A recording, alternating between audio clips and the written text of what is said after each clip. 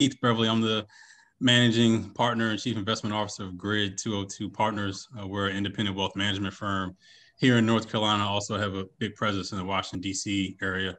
Want to extend a thank you to Sam and the Uncut team for allowing us to present to you all today on financial planning 101 for collegiate athletes.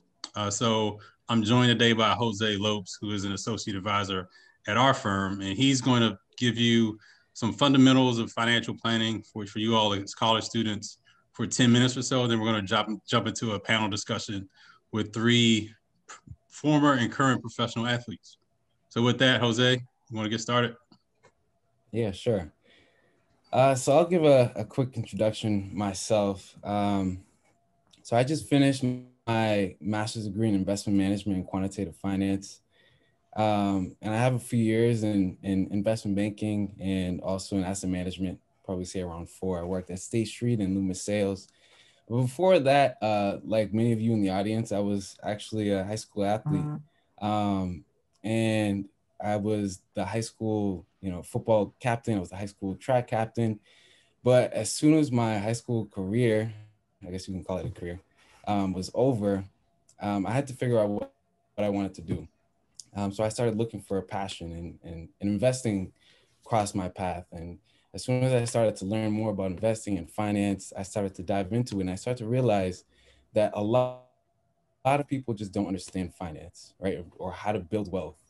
Uh, and so I started to, you know, reach out to community members and um, started to help other people out. And that grew into a passion itself. So part of this presentation here today is going to be about you know how do i share this this information that i have this financial literacy information and give it to you deliver it to you within 10 minutes? So a few topics that we're going to cover um, here you know how to calculate your net worth um, how you deal with credit cards et cetera et cetera.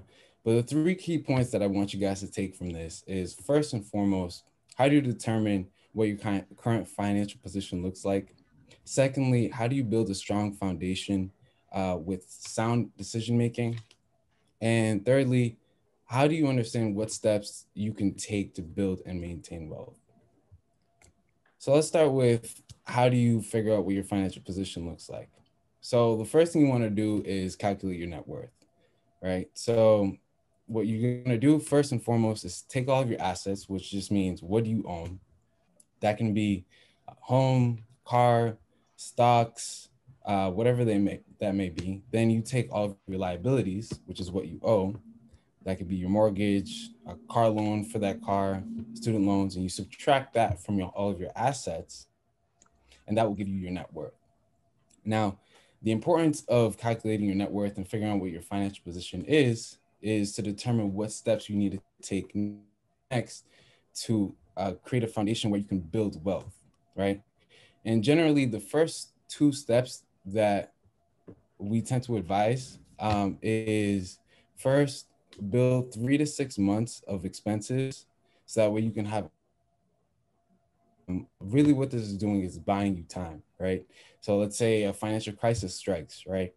Uh, you'll have three to six months of expenses or really three to six months of time to help you out um, and prepare you for the future um, and secondly, you want to be able to pay off all of your high interest debts. Now, the killer of all high interest debts is credit cards. So, credit cards are really a tool, right? So, credit cards really should only be used if you want to build your credit score. Now, your credit score is really used if you want to um, borrow money from a bank. Let's say you want to take out a mortgage or you want to take out a car loan, um, any type of loan, you need a high credit score for them to validate you and say this person is credit worthy. The things that you shouldn't do with a credit card is buy things that you can't afford and buy things that will not give you a greater return on that investment. Credit cards in general are just terrible because they uh-huh. have extremely high interest. Um, they can range from 20 to 25%, and they are real killers of your net worth. So you want to stay away from them as much as possible.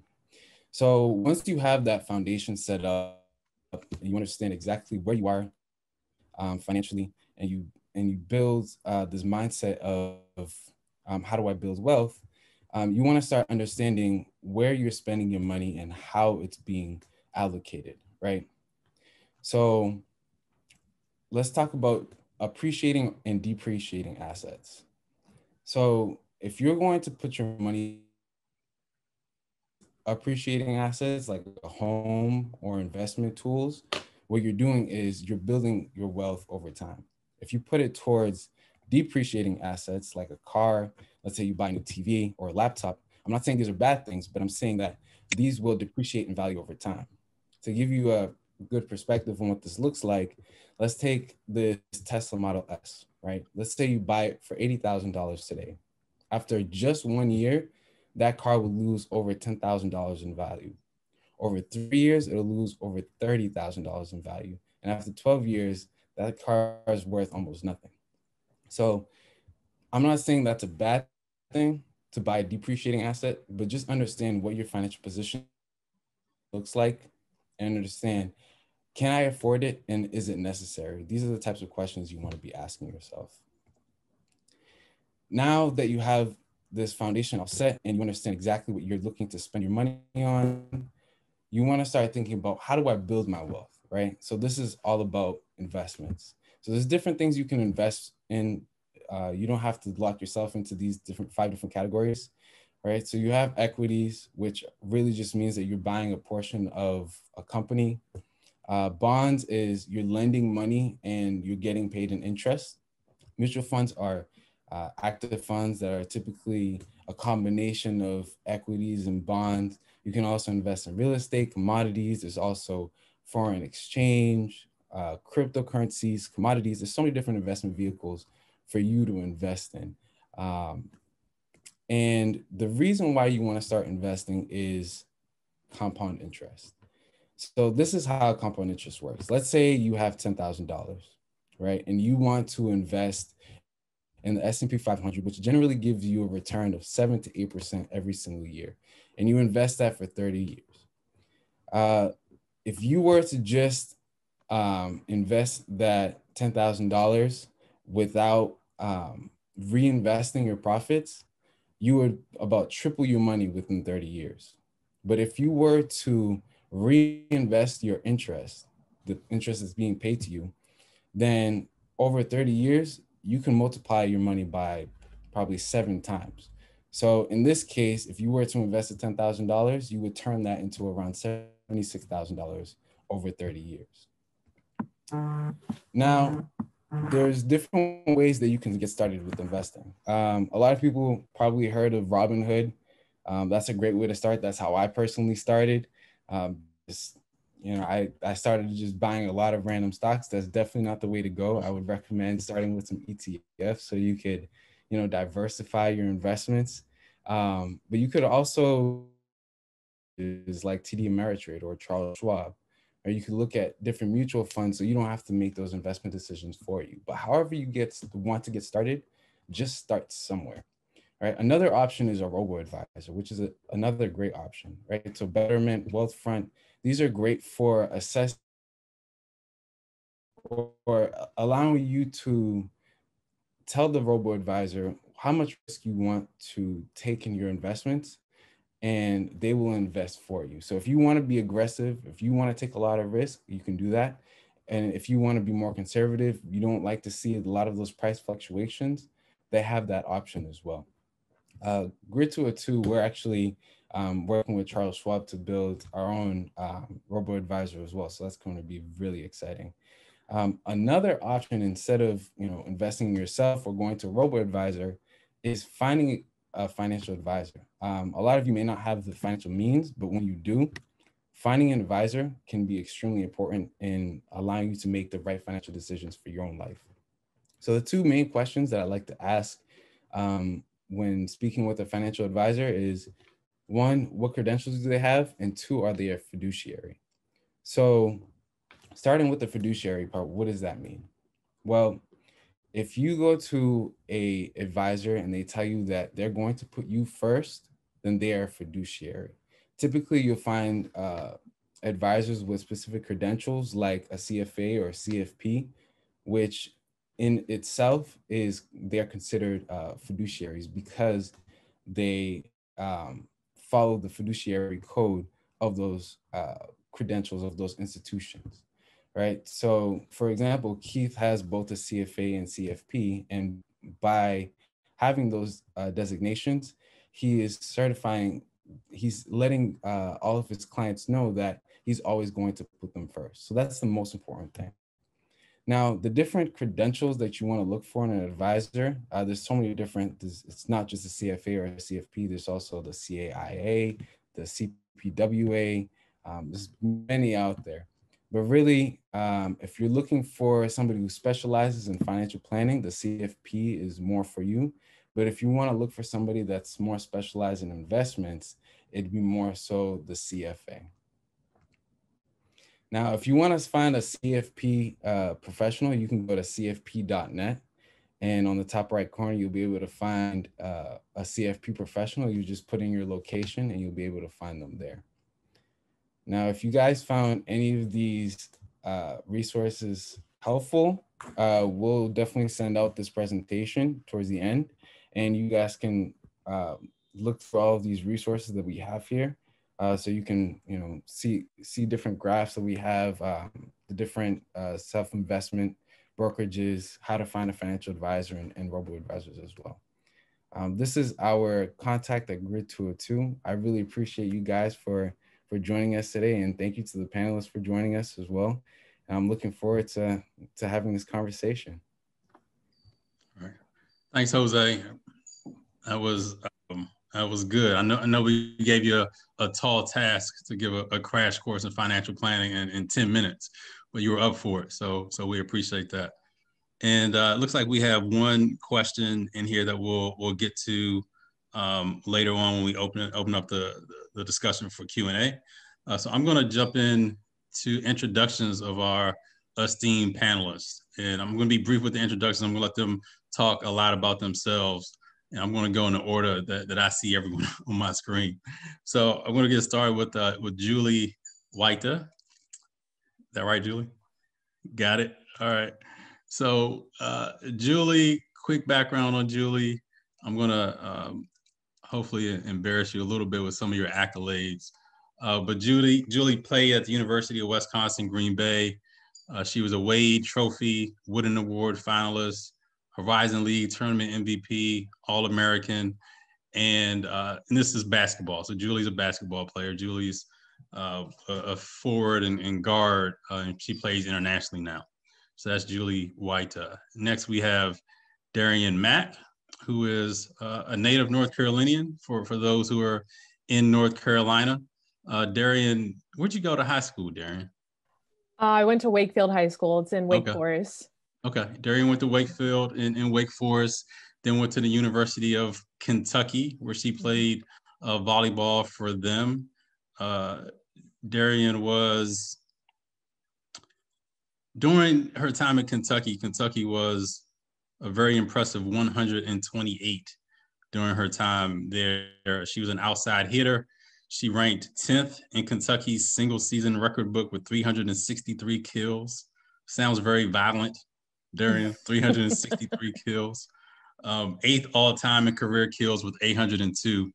And she finished her career uh, as a four time Arthur Ashe Award recipient for excellence in the classroom and athletics.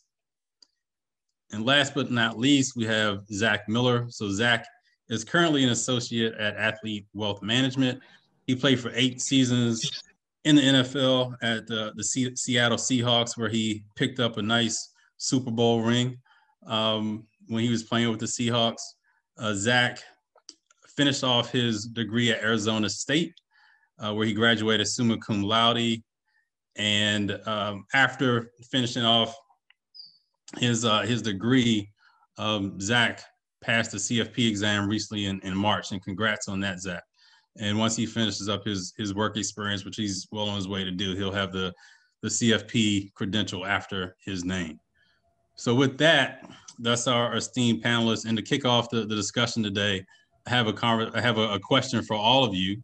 And that question is, who was the athlete that inspired you the most growing up? and what was the most difficult aspect of making the transition to your first job out of college? And I'll let Darian go first with that one. Okay. Thanks, Keith, for uh, the uh, introduction. It was very lovely. I appreciate it. You're welcome. um, so, again, hello, everyone. I'm Darian Mack. Um, I'm currently an assistant volleyball coach at the University of Southern Mississippi. So, I'm down here in Hattiesburg, uh, Mississippi. And, uh, you know, with COVID and everything, we kind of had a slow fall season. So, we're hoping to pick that up in the spring. But uh, to answer your question, I think my favorite athlete growing up is definitely Serena Williams. Um, she has endured so much throughout her career, her toughness, her grit. Um, you know, she doesn't obviously look the part of a typical tennis athlete, but she's still in the game and she's still winning championships. So she's definitely um, one that I've always definitely looked up to and still look up to uh, till this day. And um, so it's pretty cool to see her keep balling out there. And mm-hmm.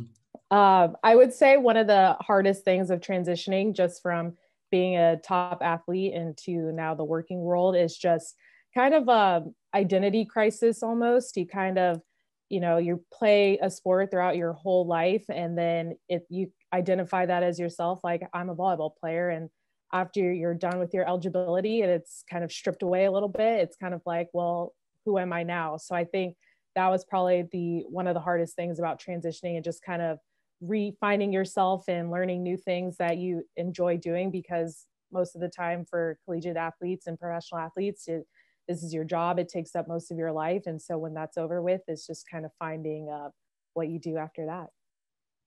Mm-hmm. julie you want to take that next? And you're on mute too julie sort of important. Yeah. yeah. Uh, hey, everyone. And thanks, Keith, for the intro. Um, yeah. So I was thinking after I graduated college uh, to play a year or two overseas. Um, and then I ended up just falling in love with the lifestyle. So um, I'm walking into year nine now, still over here. So I played two in uh, Belgium, five in Italy, uh, last year in Spain, and now I'm back in Italy again. Um, but I just fell in love with uh, a lot of pieces of this lifestyle. Um, and now walking down the path, starting to figure out what I want to do um, to transition after sport and walking down the entrepreneurial path. Um, as far as the athlete, um, I've been asked this question before, and I honestly don't think I have one. I've uh, like taken little pieces from everyone. I think I was into also for whatever reason watched a lot of snowboarding and tennis skateboarding a lot of alternative uh, alternative sports as well and just really found an appreciation of seeing people in their flow state you know that someone's really passionate and you can tell they put the work in and things like that. So um, i think i've, I've stolen a little bit uh, pieces from a number of different athletes um, and then the most difficult aspect um, for now, my body's holding up. So I've been fortunate enough to stay in sport um, still. Um, but it's definitely a completely different world over here. So adapting to things, and Darian can probably speak on this as well. Um, you're just sort of plopped out of out of a plane. You feel blindfolded, um, and things are very, very different than college sports and sports in the U.S. So just learning adaptability uh, was really big over here. So. What about you, Zach? Well, first, thanks for the intro, Keith. And uh, yeah, I grew up in Arizona, was uh, Arizona kid, and went to Arizona State. So you know, once my career got over with the Seahawks, uh, I left early from school. So I came back and finished my degree at ASU, and you know, Phoenix is my home. So getting to start here, um, kind of lucky the way things aligned with AWM and being able to find a passion.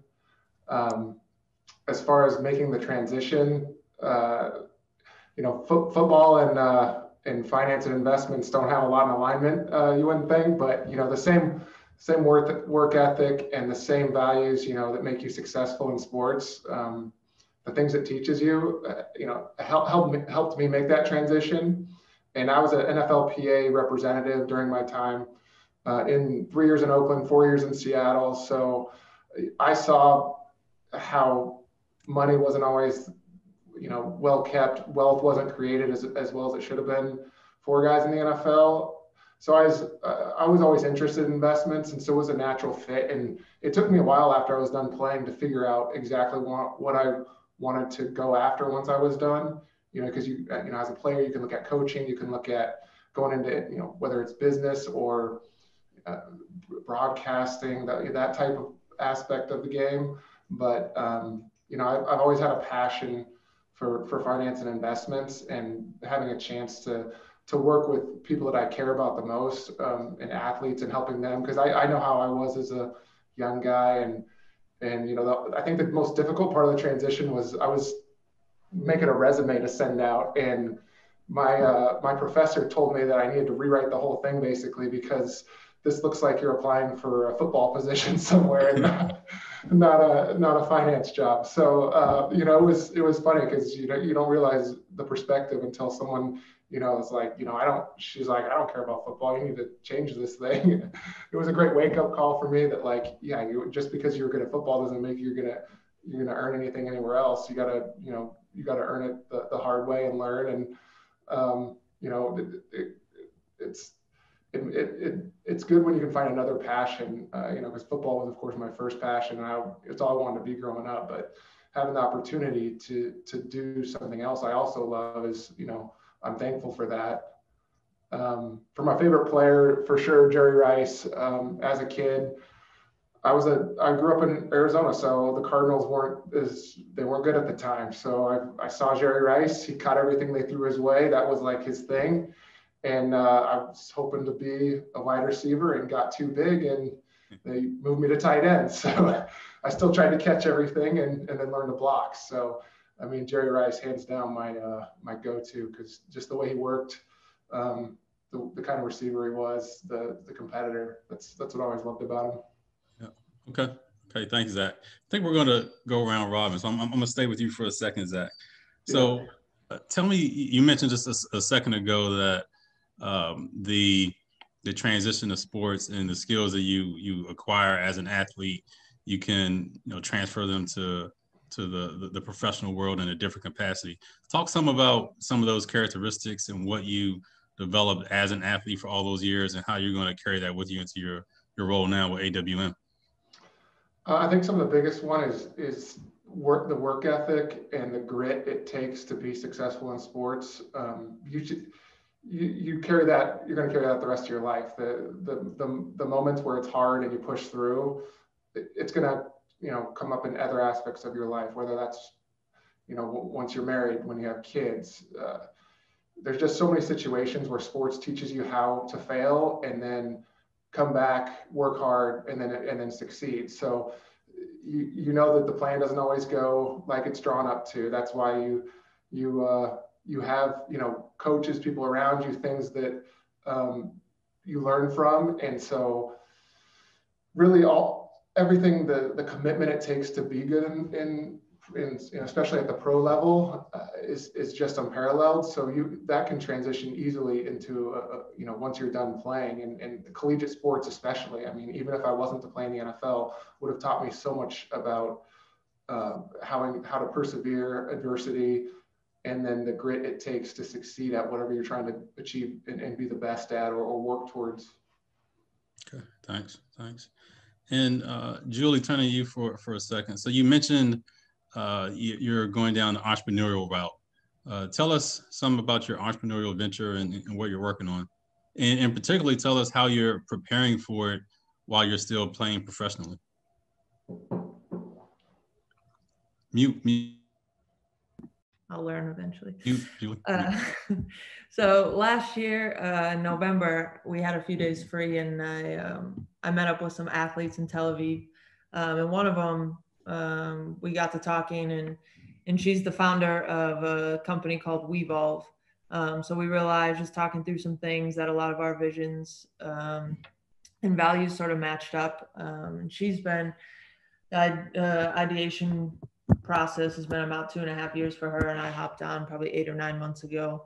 Um, and, and the company it's called Wevolv, so it's We Evolve Together, um, and it's a members members only community to help athletes sort of manage all the pieces of their career.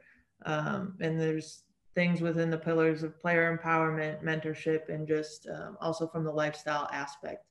Um, and we're looking to create an ecosystem among ourselves. Um, so obviously, you know, people that have walked your same path, of course, there's variances, but um, there is a deeper level of understanding and um, trust that can be built throughout that. Um, we sort of consider ourselves a lost community um, and also a captivating culture. As I mentioned earlier, it's a very different experience over here uh, and and a lot of different um, services provided to pro and athlete uh, collegiate athletes stateside. Um, but there's really a lot of gaps missing in this overseas market, and there's thousands and thousands of us over here sort of going through the same struggles. Um, so we're you know we're trying to um, assess where we can help different athletes along their journey and just create a better um, experience and lifestyle. Um, mm-hmm. a lot of things out there now for example you know you have wearables and different performance software um, and all these things that dig deeper into your athletic performance. Um, but what's really missing in our opinion is the human side of it.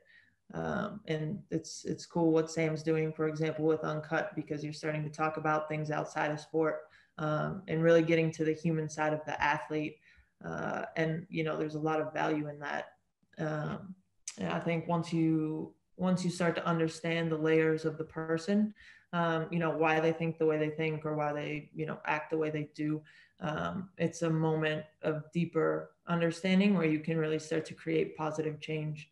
Um, and we can tie this into even your money habits, you know, your roots and your family background and cultural things. These all affect how you deal with money, how you think about money, how you go about and present yourself dealing with money. And these are things that um, obviously tie into to your day-to-day life.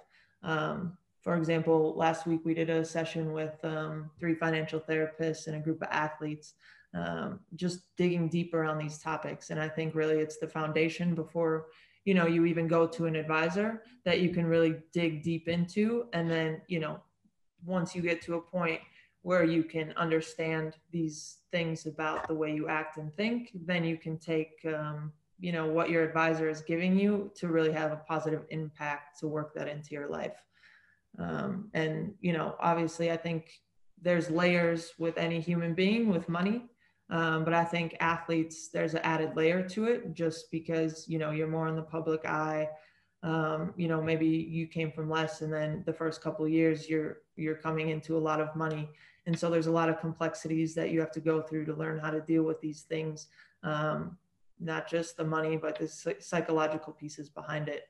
Um, and so, you know, Wevolv, that's one of the pieces Wevolv wants to help athletes with um, and just give a, a, more holistic view of an athlete's experience. Mm-hmm. Thanks. No, you touched on some great points there, Julian. And, um, you know, one of the things that we, we see in research is that athletes um, tend to tend to be more overconfident when it comes to their, their financial decisions. So that's even a, another um, important um, you know characteristic and, and, tidbit about the money psychology when you're talking about athletes and, and how they're thinking about money. Um, so Darian, so sticking with the with the international piece for a second, what was it like playing volleyball internationally, and how do you like the experience? What are, what's what what's your most memorable moment of, of playing um, playing abroad in that international experience?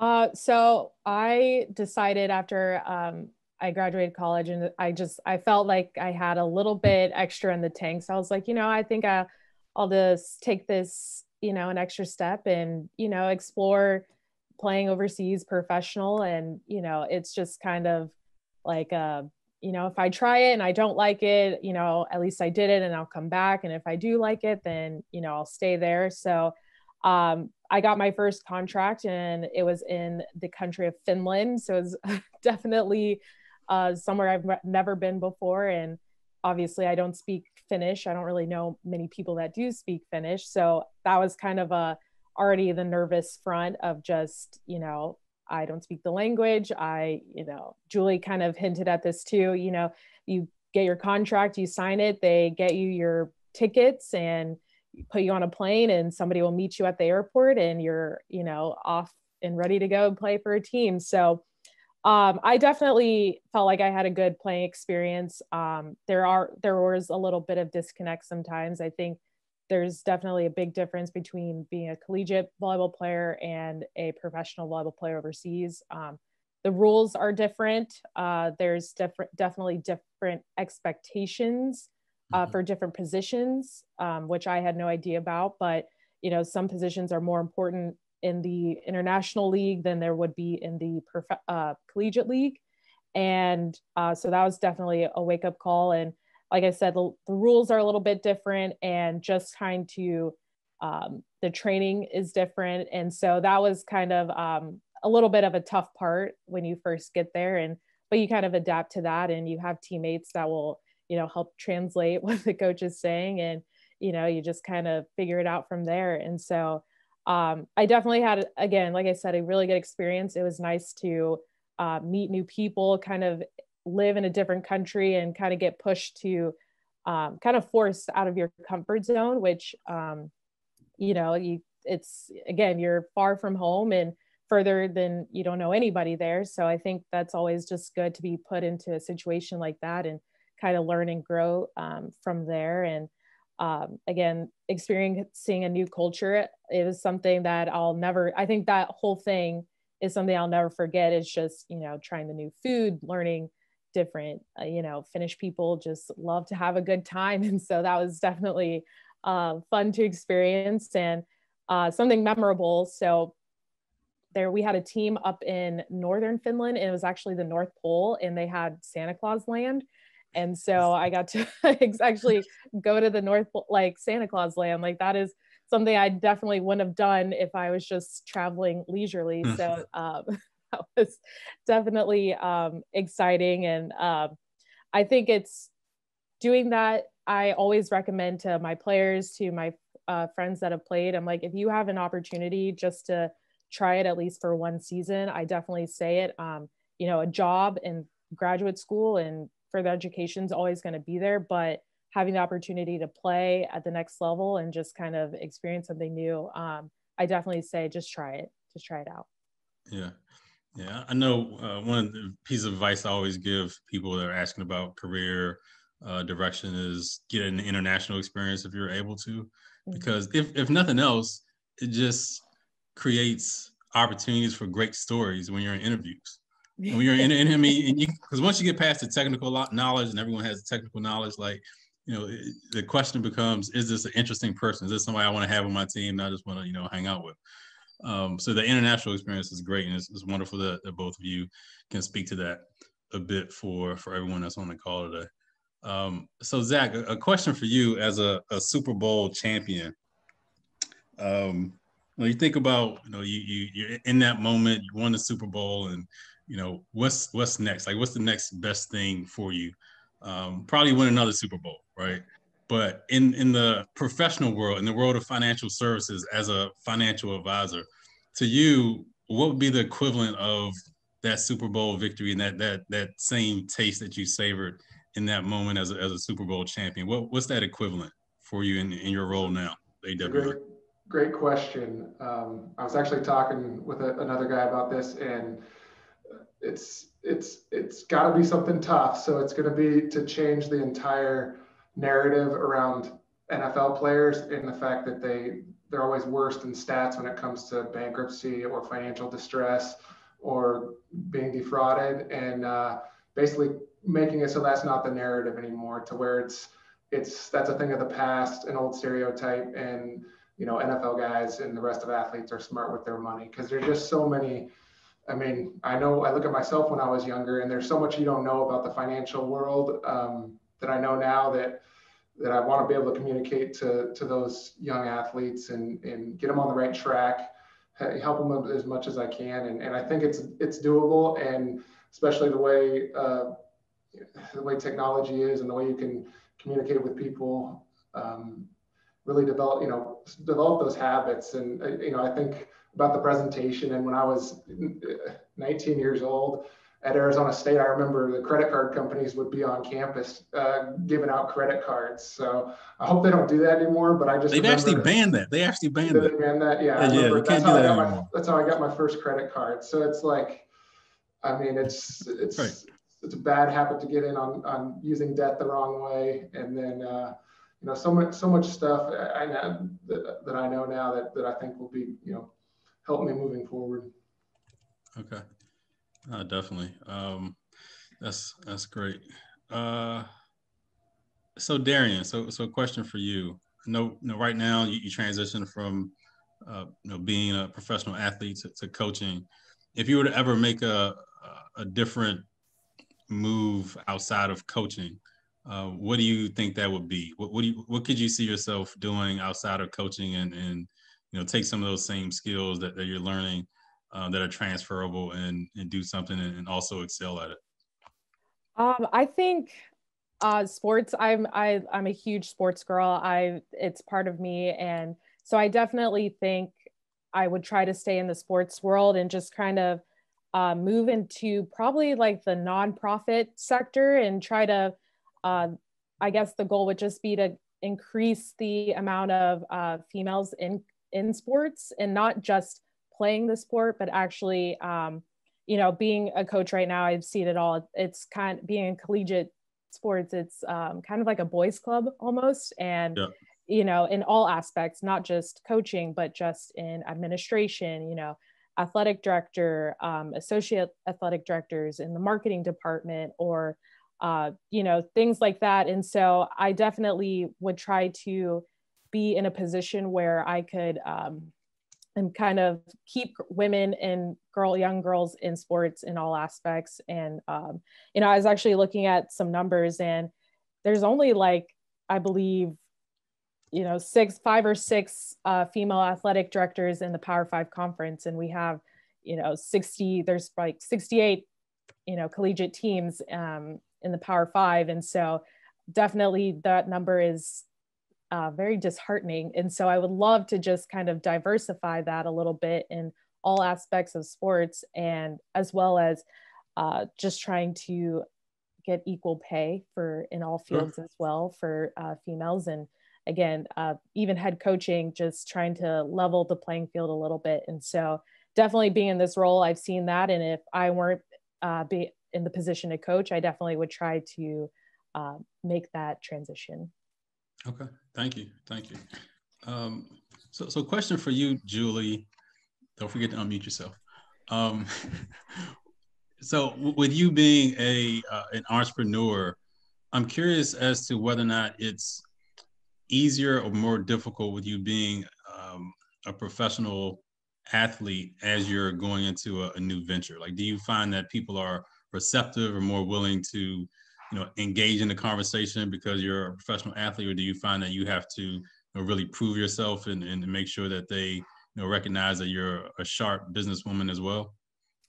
Yeah i mean definitely even even okay covid wasn't the best for the rest of the world but for the company of Wevolv it was good because uh, you know it gave us the opportunity to really um, dive in all the way in with a lot of time. Mm-hmm and our season, for example, was canceled last March. Um, and so, you know, we had six solid months uh, to be able to focus on those things. Um, and yeah, just connecting with with different people, um, different avenues. Uh, I use LinkedIn a lot, and also there's you know Upstream and some other apps where you can get connected with um, business professionals, CEOs, um, venture capitalists, all those kind of things. And I think being an athlete gives you a little added intrigue you know? It's uh you know sports in some way touches a lot of different people um, whether they've played or they're fans or or some type of way um, and it really creates a community among people. Um, and so i think a lot of people enjoy talking about that um, are intrigued especially as you mentioned earlier um, with the overseas piece international piece um, and just i mean even business wise i think that helps you see how other cultures um, work within business what their norms are how they think about it um, things like that. So i think there's there's a lot of different advantages. Um, also zach touched on just the mentality you have in day-to-day life i think really influences the way you work the way you think all those kind of things. So um, everyone we've come in contact with has been super receptive um, in that regard and and always willing to have a conversation. So it's it's been a really um, fun experience so far. Okay, great, great.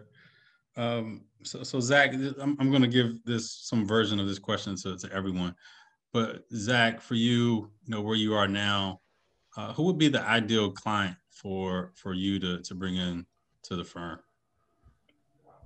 The the most ideal client is is you know someone that was like me as an NFL player that I, you know, there were so many things I didn't know and came into money at 21. I was a second round draft pick and uh, you know, and reti- you know another ideal client is retired players because the, the way the financial system set up for for currently for NFL players is you just have a bunch of brokers going in there that don't do any comprehensive planning for the most part and just do investment management. And so, I mean, I know how much, how important it is to look at the entire financial life of a player and then get them on the right track early.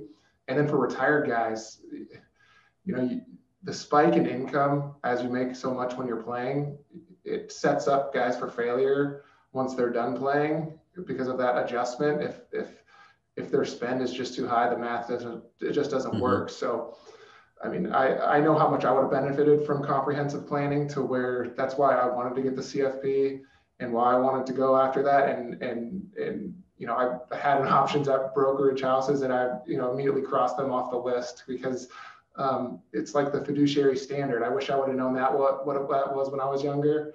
And, you know, it, it's, it's, it's a legit thing because if you, you incentivize someone to hit goals at a brokerage house, they're going to hit the goals. It's like having a guy have 10 sacks as his bonus. He's going to go get 10 sacks probably. So um, it's, it's as simple as that, but you, you got to align your advisor's interests. And, you know, I like that you, you hit real quickly on how to evaluate an advisor and at least ask uh, some good questions because how, how they get compensated, if you're not aligning their interests with yours as a player, um, I've seen it with even, you know, guys I retired with, they just they don't have the financial knowledge all the time and it's um, it, they could be so much better off and there should be you know there should be more uh, more alignment of incentives with with your advisor and who they are and what their expertise is and if, whether they actually understand an athlete and the niche and and what how different you are, especially NFL guys. I mean, you're essentially sacrificing your body for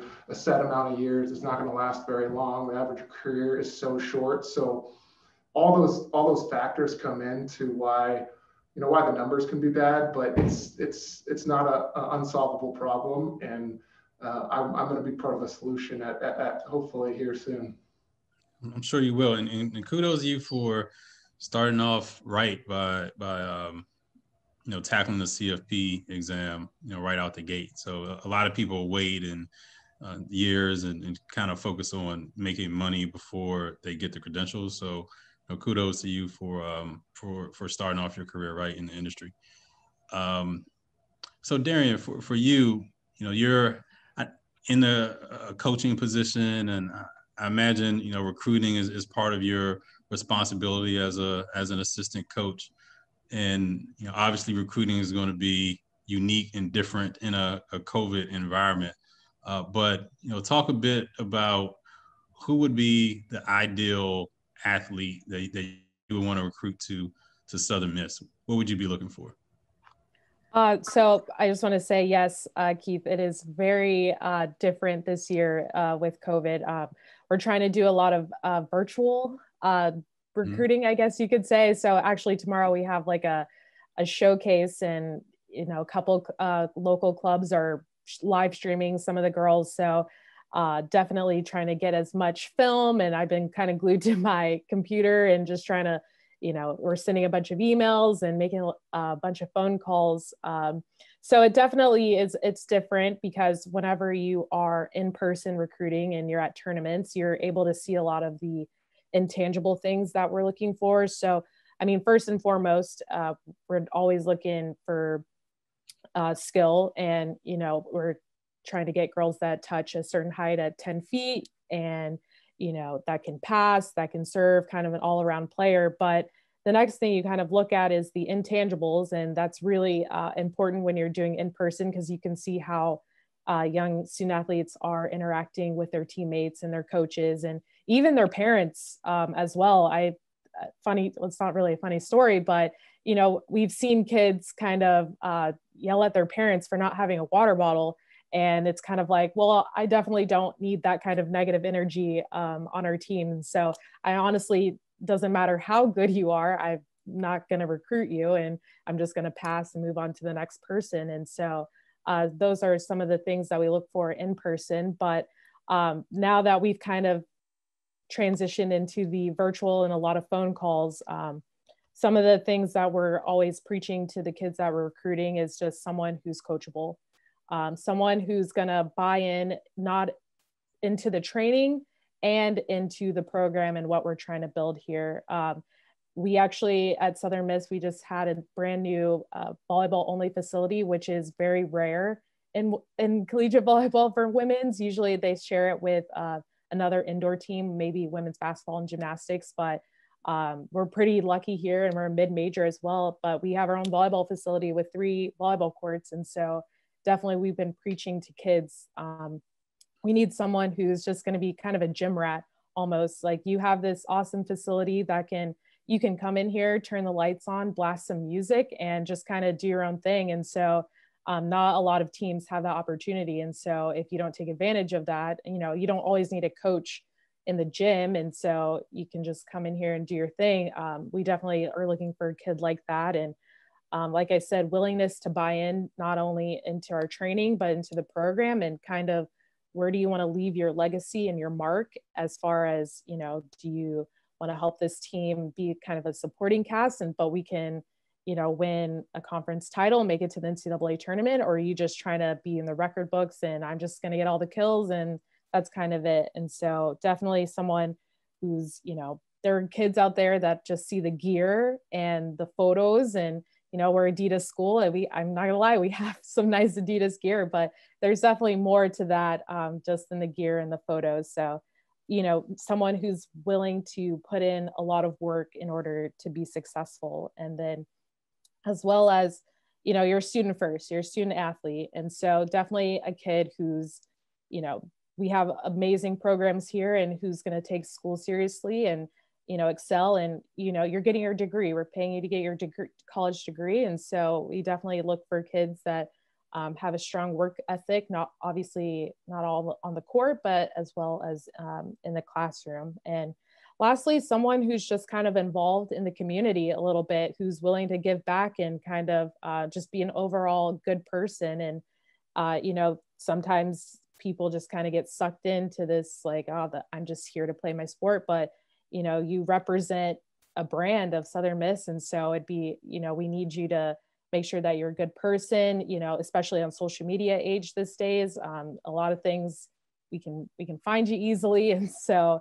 definitely just be an overall good person and be involved in the community and be willing to give back and represent uh, our brand very well. Uh, great. Those are all great points. Uh, so, so Julie, uh, similar question for you. So, who would be the ideal athlete to join the the Wevolv platform? Yeah, I mean, it's definitely some of the pieces Darian just touched on. Um, a couple of the words that come to mind um, for us are open-minded and curious um, individuals and athletes.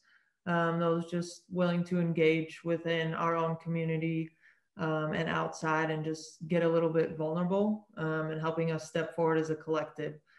So, you know, we don't really care where you're currently at as long as you have the mindset um, that you want to get better, you want to learn, you want to take advantage of the resources that we're providing um, and just sort of take over your, your, uh, your path and your future. Um, and then, you know, just having the drive to, to help the next generation. you know, a lot of people, go through the experience and they have their own struggles. Um, but then there's this gap where those same people aren't really giving back to the the younger generation. And so if we can create more of a cycle like that where you know you're helping someone maybe understand certain situations a few years before you would have um, without that mentorship, then you know we're creating progress for each generation moving forward. So we're a little over uh, uh, 6.50, so we have about 10 minutes or so. And I was going to open up the uh, the Q&A for everyone else who's on the call. And I know we have one question right now, and, and Jose, you can take that question and we can open it up to anyone else that's on the call that has other questions, other questions for the panelists or for uh, me or Jose. Jose, you want to take this question? Yeah, sure. And and Keith, feel free to uh, add on to my answer afterwards. Um, so Draven, I hope I didn't mispronounce your name. Um, but Draven was asking in investing, what do you think about targeting dividend yields? And secondly, uh, targeting fresh IPOs in a thriving market. Um, so regarding your first question, um, personally, I do like uh, companies with strong dividend yields uh, particularly because they tend to be safer and more reliable companies. The problem with just targeting dividend yields, um, you will lack some diversification. Um, typically, the the companies that have strong dividend yields are the ones within you know utility sectors, um, uh, specific sectors that have you know um, very stable companies um, that are able to provide those dividends. Um, but if you were to target dividend uh, companies that provide dividend yields, I would look for companies that are very consistent. So if you find a company that is consistently providing a high dividend yield and it has been doing that for the past 25 years, then chances are they're going to be a reliable company and they have a very strong business model. Um, regarding your second question about the IPOs in the thriving market? Well, today's market is really interesting, um, considering, especially with the the, the pandemic um, and the government's response to that. There's been a lot of money being flooded into the markets, so uh, there are a lot of investors out there that are looking for anything to throw their money in. Um, so I would expect you know future IPOs, especially if they have really strong business models and have proven to be profitable over time, um, they can be really strong investment uh, investments for you to make. Um, but be very careful with with IPOs because they can be extremely volatile. Um, and by volatile, I just mean you know they're constantly going up and down in price. And you know if you can't handle that amount of risk and um, if you're not willing to lose your money to an IPO, then go ahead and, and, and invest in it. But you know one of the things that I always preach to people when you're investing and creating a portfolio is make sure you diversify. Um, make sure you're you're looking at different uh, industries and and different types of companies and making sure that you have uh, a significant amount of you know companies within your portfolio to make sure that you're not just putting all your eggs in in one basket. Keith, you want to add to that? No, th- I thought you did a great job. Good job with the question. I'll, I'll, add one point. So I think it's interesting that you ask a question that, you, that the person framed the question dividend yields and IPOs, which are really at like two extremes, right? So, but that's good though, because that, might be a you know an, investment approach is you know, we you call it a barbell approach, where you can have you know at one end of the spectrum you can be very conservative, at the other end you can be you know very aggressive, and somewhere in between is, is kind of where your overall portfolio is. Mm-hmm. Um, but you know, great question and, and, great answer, Jose. Um, so I could come up with some other questions for everyone, but I, I think it'd be interesting to uh, open it up to other folks that are on the line, but then also to the panelists. You know, if the panelists have any questions for for each other.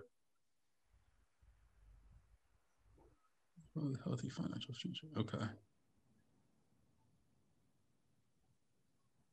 Panelists or do we want to take uh, so let me get to this question right here so what is the best thing i could do right now uh, to work towards a healthy financial future um, i'd say that the number one thing you can do is is quantify your goals so you know i'm biased you know, jose and zach are probably biased as well where we would say you might want to seek out professional advice and work with a you know certified financial planner but um, going through the financial planning process. You don't have to necessarily be a certified financial planner to go through the financial planning process. So the process of where am I where am I right now? Where do I want to go? And what are the best vehicles and avenues that are going to help to bring me and get me to that position? Like that's the financial planning process, like in a nutshell. So first and foremost, write down what your goals are and then chart out the path that's going to help you achieve those goals. So my advice would be the best thing you can do right now is write down your goals and and then quantify those goals. That'd be advice. Um, panelists, panelists, you have any questions for for one another? No. Okay. Um, and Draven, Draven, you have another question. So you want to type your question. All right, there it is. We got technical analysis question. Uh-oh. Did I just see Forex? I see Forex and MACD and SRI. I'm, I'm out on the technical analysis.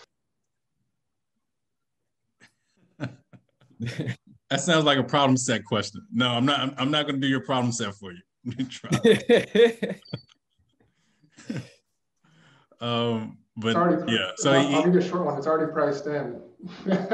right, right. Sufficient market is already priced in. Um, so he, he asked a question about foreign foreign exchange markets and you know, MACD, SRI, like pretty technical questions. So um, maybe we'll take that one offline. You, you have a, a, another question for us? What's up, E?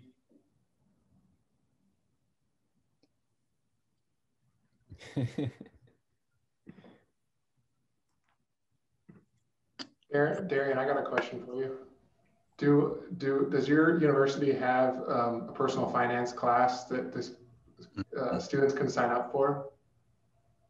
Uh, I don't believe so, but um, it's interesting that you say that because actually, um, when I was at Kentucky, they actually did bring somebody in, and we had, I think, maybe two sessions, and they gave us a book, and um, it was actually required for all student athletes to go. And I don't know if um, any of you guys are familiar, but a lot of colleges now they're doing cost of attendance uh, checks. So it's like an extra. I don't want to get into all the details, but it's basically extra money that can pay for, you know, flights home and et cetera, et cetera. But uh, when that was starting to become a little bit more popular, they brought in some a financial uh, planning person just to kind of talk about like, hey, these are some of the things that you could do with X this money that you're getting, you know, extra $600. So um, I definitely, it would be nice for, you know, somebody to come in and kind of teach the kids and because, you know, can spend yeah, money I, on so a little i fun thing.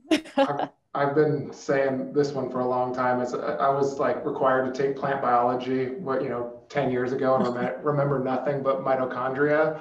Um, and so like, I would have been way better off my last year taking like a personal finance just did basic, you know, here's what your tax, you know, here's how you file taxes. Here's, you know, here's debt. Here's, here's how, what, even what a financial plan is. Here's like, here's what investments 101. What is, you know, just simple stuff, stock market, bond market. I mean, you won't pick up everything, but I think in your final year of school, you'd get way more out of that than you would, um, you know, a lot of the classes you forget, that's for sure. Uh, absolutely. I agree. I mean, I'm still calling my parents to figure out how to do all this stuff too. yeah. Julie, did you have a personal finance class when you were in school? No? You're on mute. You're on mute.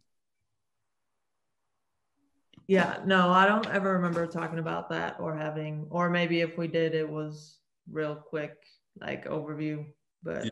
I don't think anything particular there, there, are certain states. I mean, I'm, I'm of the mind. I'm, I'm in the camp that personal finance should be taught um, early. So you know, you should probably take a personal finance class before you graduate high school. Um, but it, it, still astounds me that it's not pervasive, where everyone thinks that you need to, you know, have a good understanding of money, how the economy works, how money works. You know, prior to at least prior to graduating college, right? I mean, we didn't. I was a finance major, but we didn't take we didn't have personal finance classes in, in, in school and undergrad um, either. So I, think it's something that should be that should be taught, and um, yeah, I think it's something that should be taught, um, you know, early and often.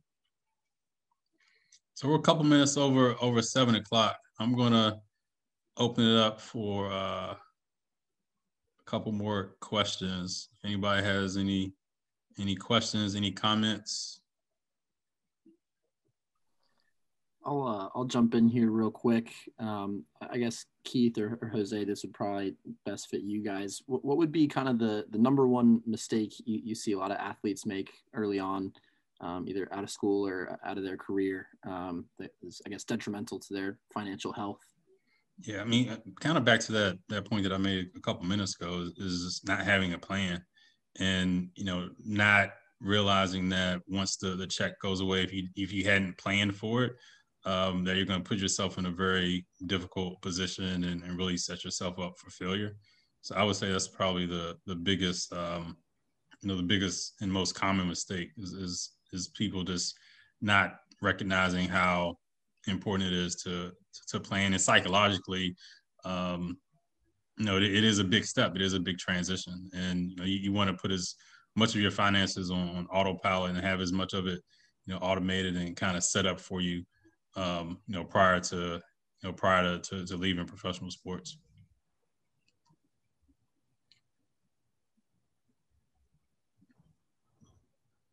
Have anything else? Any any closing thoughts? okay. Is the, is the, C, the CFA worth it? Three years, three tests? For me, it was. I mean, yeah, for me, for me, it was. I think um, yeah, for me it was. I, I, I was an overachiever. I always looked at it as this might sound silly, but I always looked at it as like if I'm going to manage someone's money, I'm going to have the designation that people who manage money have. like to me, it was always that simple, right? So you like you you you mature in the industry, you grow in the industry, you realize that um, you know you don't necessarily need to have designations for people to you know trust you with your money with their money and to you know give you money to manage, but um, for me to feel comfortable, you know, doing it, for me to feel as though you know I'm I'm a professional and I'm qualified to do this, it was it was important for me. It's tough though. I mean, it's it's, it's you know definitely you know three bears of of, of an exam, but uh, it's worth it on the on the other side. Uh, Darian, Julian, Ju- Julie, any last thoughts, questions? What time is it, Julie? You keep coming up. So thank you, Julie. Thank you, Julie, for for staying up with us. You, you want to let everyone know what time it is? Your time? I'm blaming the the mute issue that it's one o'clock in the morning. There so you go. Exactly. we're we're yeah we're we're getting past my limit, but it's all right. Right. Uh, I was curious for Zach, what you do for the week after you win the Super Bowl. Oh, they, they throw you a parade. So that was it was the coldest day ever in Seattle, but the parade was one of the coolest things I've ever been a part of. They said there was a million people. It was like we flew back. Well, we partied that night at Super Bowl, of course, but we flew back the next day, and then the parade was like on Tuesday, and they had us in like these like uh, these like army trucks driving through downtown Seattle, and like they like the whole schools were let out. Like people took off work to just attend the parade. So yeah, winning the first first ever Super Bowl in Seattle, man, it's it's one of the yeah. most special moments you can ever have. Yeah. Yeah. Okay. All right. Sam, you want to wrap us up? Yeah, I can. I can wrap us up. Um, well, thank you again to uh, to everyone that, that, that tuned in. Uh, I know I learned a lot, even even just sitting here listening as well. Um, I, I, hope uh, everyone else got some takeaways as well. And, and, and thank you to uh, to Keith, Jose, Zach, Darian, and, and Julie for coming on. Julie, thanks for for staying late with us. I hope you can get some sleep. Um, but really appreciate the time. Uh, really appreciate all, all your knowledge and all your really unique and interesting insights. And uh, hope to keep in touch with you guys. Yeah, definitely, Sam. Thank you for putting everything together. We appreciate it. Thanks, Sam. Yeah, thank you. Thank you, Sam. Thanks, Keith. Yeah, thanks, Keith. Everyone, this was fun. Talk to you all.